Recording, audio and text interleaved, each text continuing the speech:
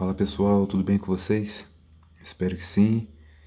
No vídeo de hoje eu vou demonstrar mais uma forma de vocês montarem seu sistema com dois anzóis, só que de um jeito diferente, ok? É, os, vídeos que eu, os vídeos que eu posto aqui, pessoal, é, aí vocês vão escolher assim é, qual qual o sistema que se adapta melhor aí nas suas pescarias. Aí vocês colocam em prática ok? É, como eu sempre falo, paciência do pescador é importante porque se o pescador não tem paciência, ele vai ficar sempre na mesmice, né? Ele vai colocar aquele anzolzinho básico lá na ponta, chumbadinha, se, se usarem boia, né? E vai ficar sempre naquilo. E a pescaria, pessoal, é, hoje em dia tem muito jeito, muitas formas de se pescar, né? E não custa nada a gente aprender para a gente sempre ter alguma opção escondida, guardada assim, né? Segredo, que é para na hora que for preciso, pô, vou lembrei de um sistema, vou, vou montar aquele sistema e vou, vou, vou usar. De repente pode ser a solução para a sua pescaria ser produtiva. Ok, pessoal? Então, vamos lá. Vocês vão pegar duas linhas, né? De mais ou menos 50 centímetros ok? Vão achar mais ou menos o meio dela e vamos fazer o, um laço aqui e formando um nó. Só que esse laço aqui nós temos que passar várias vezes aqui a linha por dentro, né? Para formar um nó grosso para usar nesse tipo de sistema, ok? Então vamos passando aqui, ó.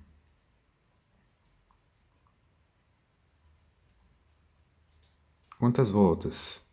É, independente, né, tá pessoal, da linha, é, aliás, conforme a espessura da linha, ou você vai dar menos voltas ou mais voltas. Se a linha for mais, for mais fina, vai exigir mais voltas nesse laço aqui, ok?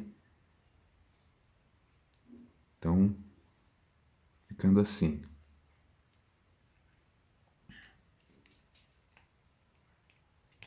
Aí aqui, antes de chegar no final, aqui eu vou dar uma lubrificada, certo? Para evitar que a linha esquente e evitar também da sua linha afinar. Já, só um instante. Lubrifiquei. Agora eu vou apertar aqui, ficando dessa forma.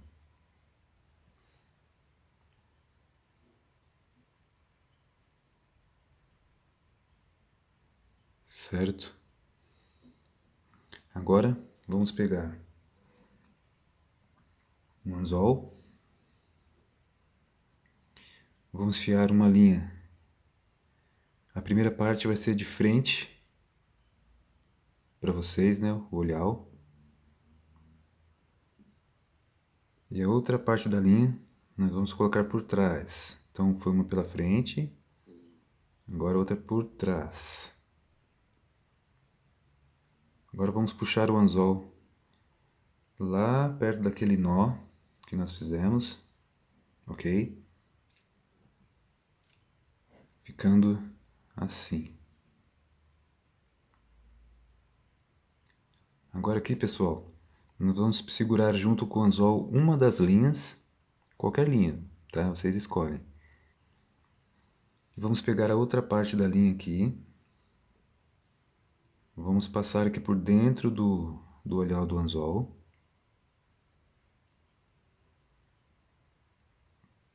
Certo? Vamos puxar aqui para formar o lacinho, que é para a gente fazer o atado no anzol, ok?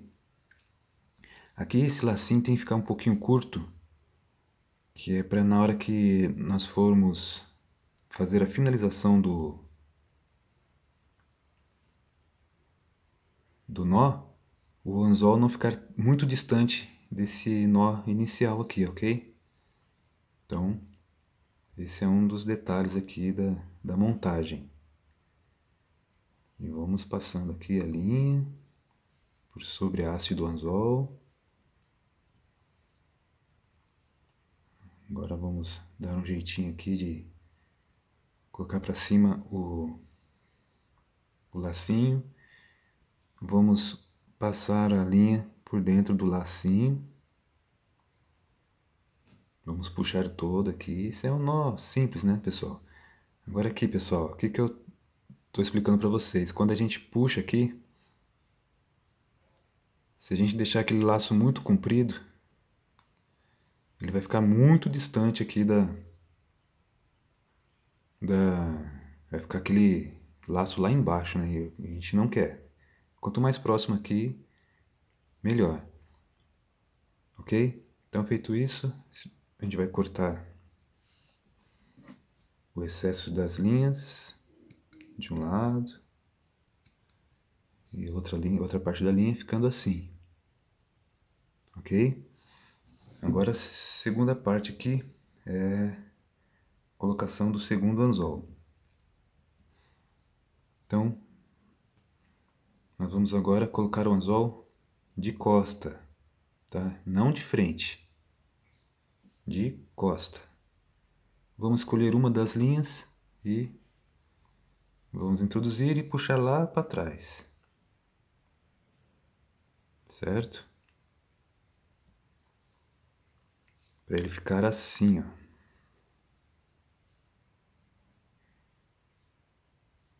Ok?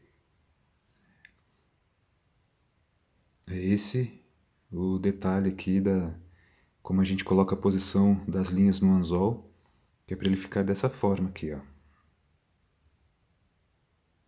Certo? Agora o que, que nós vamos fazer?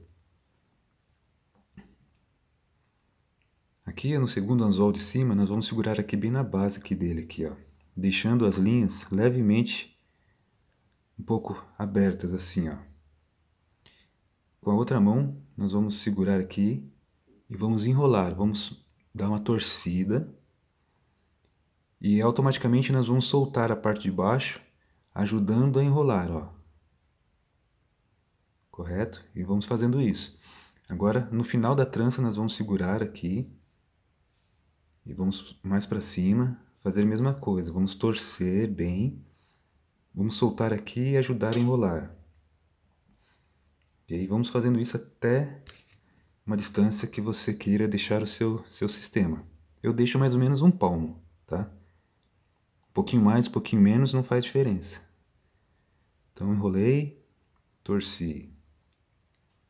Dei uma torcida na parte de cima, Ajudei a enrolar na parte de baixo. Dei uma torcida, enrolei. Vamos fazendo.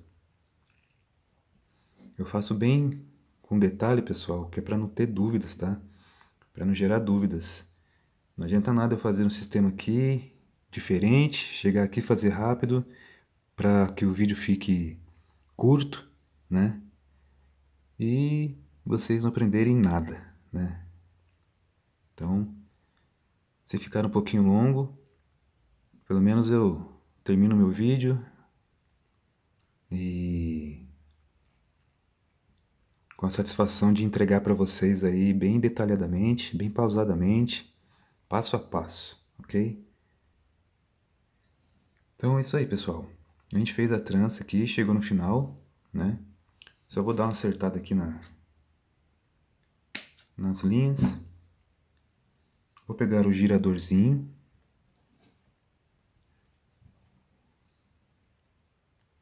Vou fazer o nó aqui. Esse nó, vocês escolhem o nó que vocês fazem aí, tá? Esse aqui não... É o nó da sua preferência, ok? Eu faço esse nó porque é mais prático, né?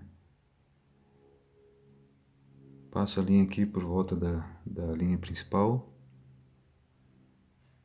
retorno as pontas por dentro do lacinho que formou.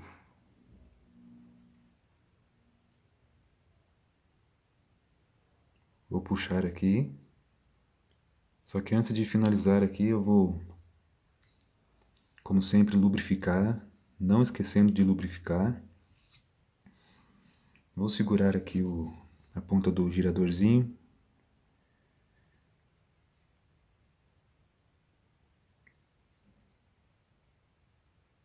e puxar a linha para que o nó fique bem firme. Agora eu vou cortar o excesso. E está feito. Vou deixar aqui um pouquinho para vocês verem aqui mais ou menos, tá? Então aqui ficou mais ou menos a um palmo e dois dedos do anzol pro girador. E o seu sistema com dois anzóis aqui, ó, está feito, tá? Lembrando que dá para você fazer com várias medidas de anzóis, dá para vocês deixarem um anzol grande aqui embaixo e um menor aqui em cima, ok? Dá para fazer com anzol menores, né? Esse aqui estou fazendo mais para visualização, tá? E aqui o, o, legal também desse sistema, pessoal, que você também pode regular o anzol. Eu vou colocar para cima, ó que quando eu solto a própria linha já torce novamente, deixando a trança, né?